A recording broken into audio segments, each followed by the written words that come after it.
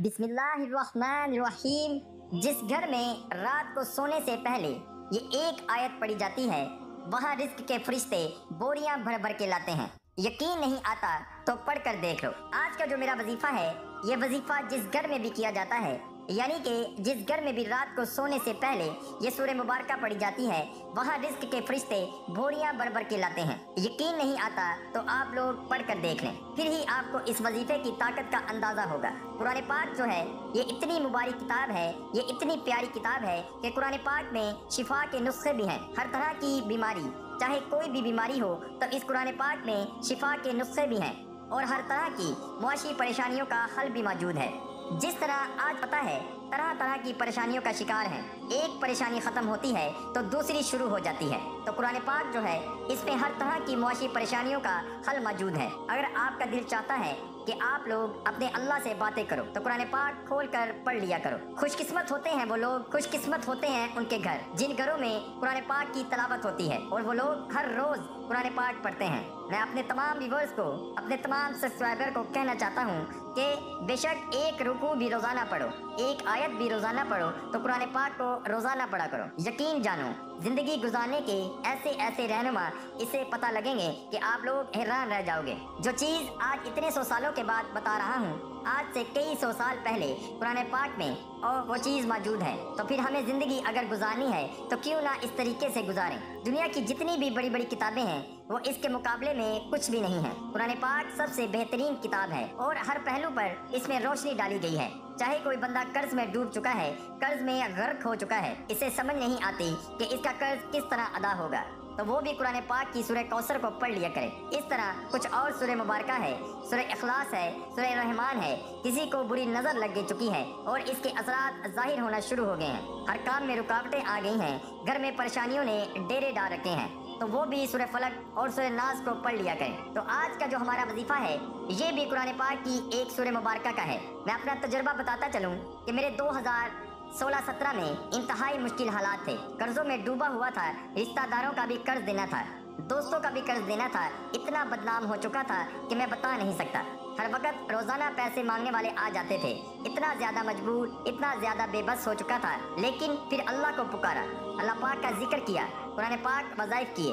प्यारी प्यारी सुर मुबारक के वजाइफ किए और ये वजीफा भी मैंने किया। तो अल्लाह पाक ने हर मुश्किल ख़त्म कर दी। अल्लाह पाक ने हर तंगी से निकलने का रास्ता बना दिया और वहाँ से मुझे रिस्क दिया, जिसका मैंने सोचा भी नहीं था। तो मैं सबको कहता हूँ, अपनी तमाम बहनों को कहता हूँ कि ये जो वजीफा मैं आपके साथ शेयर करने लगा हूँ, एक सुर मुबारक का वजीफा है, जिसको कर लेना। माली हालात जितने भी खराब हैं, मुआशी हालात जितने भी खराब हैं, इस वजीफे से इन हर तरह का मसला ख़त्म हो जाएगा। हर तरह की परेशानी खत्म हो जाएगी। फौरी पैसों की ज़रूरत है तो वो भी इन आपको पैसे भी मिल जाएँगे। इस वजीफे से गरीब से गरीब भी है तो वो मालदार हो जाता है। जो लोग अक्सर कहते रहते हैं कि वजीफ़ों से कुछ नहीं होता। मैं तो वजीफे कर करके थक गया हूँ। तो मैं इनको कहता हूँ कि प्लीज़ एक दफ़ा इस वजीफे को अपनी ज़िंदगी में शामिल कर लो। इस वजीफे को करने की आदत बना लो। फिर देखना कि आपकी ज़िंदगी की मुश्किल किस तरह ख़त्म होती हैं। फिर देखना अल्लाह पाक किस तरह आपको अता करता है। जिनके ऊपर करोड़ों के हिसाब से कर्ज हैं, वो भी इस वजीफे को कर लें। इन इस वजीफे से मुश्किल ख़त्म हो जाएगी। आइए अब वजीफे की जानब चलते हैं। करना आपने इस तरह से है कि सबसे पहले वज़ू कर लेना है। यह वजीफा आप मगरिब के बाद भी कर सकते हैं और ईशा के बाद भी कर सकते हैं। ईशा के बाद भी ना कर सकें तो सोने से पहले इसको ज़रूर कर लिया करें। यानी कि जो तीन औकात हैं, मगरिब के बाद भी इस अमल को कर सकते हैं। क्योंकि मगरिब के बाद जो इस्लामी कैलेंडर है, इसके मुताबिक दिन ख़त्म हो जाता है। नई तारीख शुरू हो जाती है। इस तरह मगरिब के बाद अगर हम अपने कैलेंडर को देखें, जनवरी, फरवरी वाला तो वो भी दिन ख़त्म हो जाता है। रात शुरू हो जाती है। तो मगरिब के बाद इस वजीफे को कर लें या ईशा के बाद कर लें, या सोने से पहले कर लें। आसानी हो गई है आपके लिए। आप कर सकते हैं। इस वजीफे की शर्त यह है कि इसको मुकम्मल यकीन के साथ किया जाए और मुकम्मल यकीन के साथ दुआ मांगी जाए। फिर आप इस वजीफे के असरा देखिएगा। सबसे पहले आपने वज़ू कर लेना है। ग्यारह मरतबा दरुद इब्राहिमी पढ़ लेना है। अल्लाहुम्मा सल्ली अला मुहम्मदिन वाला आली मोहम्मद कमा सल्लैता अला इब्राहिमा वाला आली इब्राहिमा इन्नका हमीदुम मजीद। अल्लाहुम्मा बारिक अला मुहम्मदिन वाला आली मुहम्मदिन कमा बारकता अला इब्राहीमा वाला आली इब्राहीमा इन्नका हमीदुम मजीद। अपने अल्लाह से दुआ कर लेनी है। मेरे अल्लाह मेरे ऊपर तंगदस्ती है, मोहताजी है रिस्क की कमी है। फिर आपने एक मरतबा सुर वाक़ पढ़ लेनी है। सिर्फ़ एक मरतबा सुर वाक़ वाक़ क़यामत का नाम है, क्योंकि इसका होना यकीनी अमर है। इसका वाक़ होना हतमी अमर है। ना इसे कोई टाल सके, ना बता सके। वो अपने मुकर्रा वक्त पर आकर ही रहेगी। हज़रत इब्ने मसूद रजील्ला तु से रिवायत है कि रसूल अल्लाह सल्लल्लाहु अलैहि वसल्लम ने इशाद फरमाया, जो शख्स हर शब्द में सुर वाक़ पढ़ता है, वो कभी भी फाके की हालत को नहीं पहुँचता। हज़रत इब्न मसूद रज़ी तु अपनी लड़कियों को हुक्म दिया करते थे कि वो हर शब्द में ये सूरत पढ़ा करें। अलबत्ता कोई मखसूस वक्त हदीस में मनकूल नहीं है। इसलिए रात को मगरिब या ईशा के बाद जिस वक्त भी सुर वाक़ की तलावत कर ली जाए, हदीस में मजकूर फजीलत हासिल हो जाएगी। जब आप एक मरतबा सुर वाक़ पढ़ लें तो फिर अपने अल्लाह से दुआ कर लेनी है। अल्लाह पाक आपके लिए रिस्क के दरवाजे खोल देगा। अल्लाह पाक आपको वहाँ से देगा जिसका आपने सोचा नहीं होगा। ये वजीफा बड़ा ही मुजरब अमल है।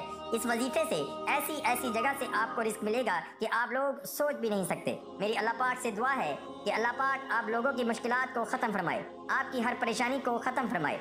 आपके रिस्क में, आपकी रोजी में बहुत ज़्यादा इजाफा हो। जो भी आप वजीफा करते हो, जो भी अमल करते हो पूरे यकीन के साथ किया करें। इन फिर वो वजीफा या वो जो अमल आप करोगे, इससे आपको बहुत फ़ायदा होगा। दुआ अल्लाह पाक से फरियाद करने, इसके इनाम के मुस्तक होने, इसको राज़ी करने और बख्शिश और मफरत का परमाना हासिल करने का नहायत आसान और उमदा ज़रिया है। दुआ मांगना हजूर वसल्लम की प्यारी सुन्नत अल करीम के नेक बंदों की आदत द हकीकत इबादत, बल्कि मगज इबादत है। और खताकार बंदों के हक में अल्लाह पाक की जानब से एक बड़ी नमत और सादत है। बंदे का मांगना खालिक मालिक जलाल को बहुत पसंद है। जैसा कि अल्लाह पाक इरशाद फरमाता है, मैं दुआ मांगने वाले की दुआ कबूल करता हूँ। जब वो मुझे पुकारे, अल्लाह पाक ने हमें दुआ मांगने का हुक्म दिया है और साथ ही दुआ की कबूलियत की नवीद भी सुनाई है। अल्लाह पाक से दुआ की कबूलियत की शर्त यह है कि दुआ के वक्त इंसान को चाहिए कि पाक साफ़ हो और किबला रू, दोजानो बैठ कर आजिजी के साथ दुआ मांगे।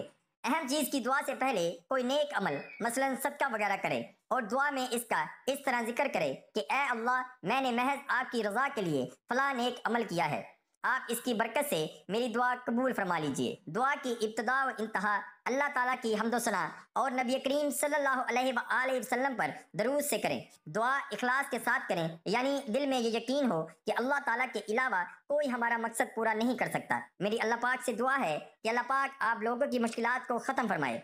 आपके रिस्क में, आपकी रोजी में बहुत ज़्यादा इजाफा हो। हमेशा अल्लाह पाक से गुर्बत से पना मांगा करें। अल्लाह पाक से दुआ किया करें कि मेरे अल्लाह मुझे गुर्बत से दूर रखना।